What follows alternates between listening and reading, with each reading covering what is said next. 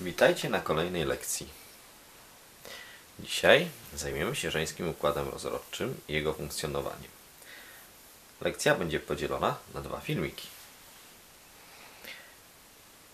Dzięki rozmnażaniu istnieje życie na Ziemi. I chociaż, żeby doszło do cudu stworzenia życia, potrzeba osobników obu płci, tylko kobieta może wydać na świat potomstwo. Jedynie jej układ rozrodczy jest odpowiednio przygotowany do tego, żeby dać nowe życie. Żeński układ rozrodczy pełni kilka funkcji. Podstawowa wytwarza gamety żeńskie, komórki jajowe. Produkuje też żeńskie hormony płciowe. Zapewnia odpowiednie warunki wzrostu i rozwoju dziecka. Skład układu rozrodczego kobiety wchodzą wewnętrzne narządy płciowe, czyli dwa jajniki, dwa jajowody, macica i pochwa oraz zewnętrzne narządy płciowe, wzgórek łonowy, wargi sromowe i łechtaczka. Wewnętrzne narządy płciowe to są jajniki i narządy te wytwarzają komórki jajowe oraz żeńskie hormony płciowe.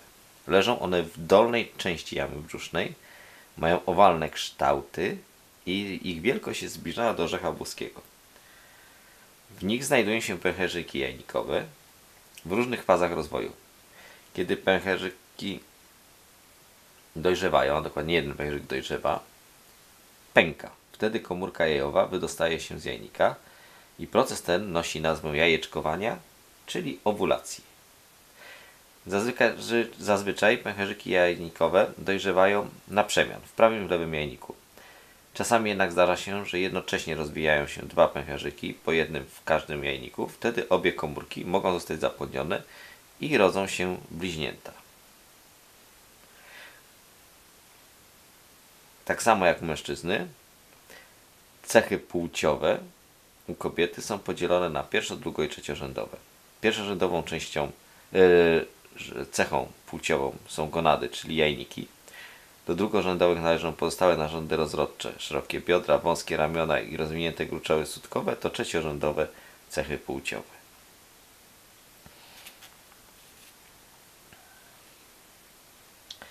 Na stronie 219 macie przedstawiony rysunek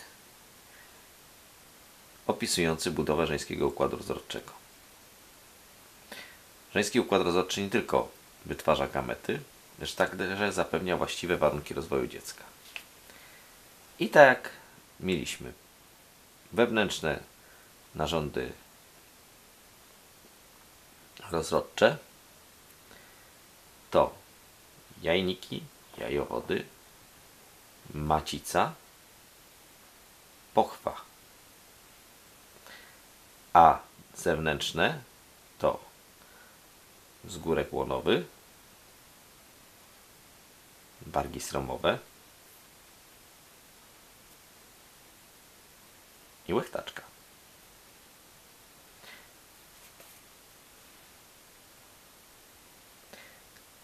Jaka jest budowa komórki jajowej? Dojrzała komórka jajowa jest największą komórką w ciele człowieka. Wypełniają ją substancje zapasowe, którymi zarodek odżywia się w pierwszych dniach życia, czyli od momentu zapłodnienia. Komórkę jajową otacza gruba osłonka przejrzysta i pełni ona funkcję ochronną oraz nie, i jeszcze to wszystko otaczają niewielkie komórki tworzące wieniec promienisty.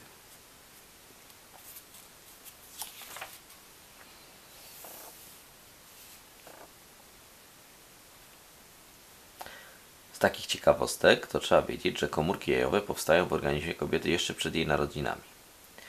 I pomimo tego, że jest ich e, w ciele kobiety kilka milionów, to w ciągu całego życia kobiety dojrzałość osiąga tylko kilkaset z nich.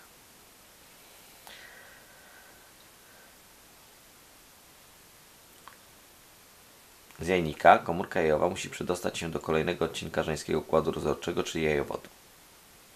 Na jednym jego końcu, przylegającym do jajnika, znajdują się długie wyrostki. Ich ruch przesuwa komórkę jajową do wnętrza jajowodu. W ścianie jajowodu znajdują się mięśnie gładkie, jego wnętrze wyściela nabłonek rzęskowy. I skurcze tych mięśni oraz ruch rzęsek sprawiają, że komórka jajowa, która nie ma zdolności ruchu, w przeciwieństwie do plemnika, jest powoli przesuwana wzdłuż jajowodu. I każdy jajowód uchodzi do macicy, narządu, w którym odbywa się rozwój zarodka i płodu. Wielkością i kształtem macica przypomina gruszkę zwróconą wierzchołkiem do dołu.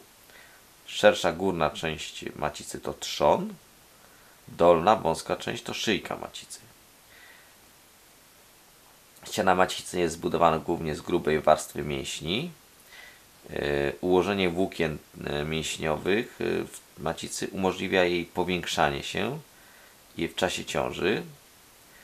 Wnętrze macicy pokrywa błona śluzowa z licznymi naczyniami krwionośnymi. Ostatnim odcinkiem żeńskiego układu rozrodczego jest pochwa. Z jednej strony łączy się ona z szyjką macicy, a z drugiej strony uchodzi na zewnątrz ciała. Pochwa umożliwia wprowadzenie nasienia do żeńskich dróg rodnych, a także wydanie na świat potomstwa. Jej ściany są zbudowane z bardzo elastycznej błony mięśniowej.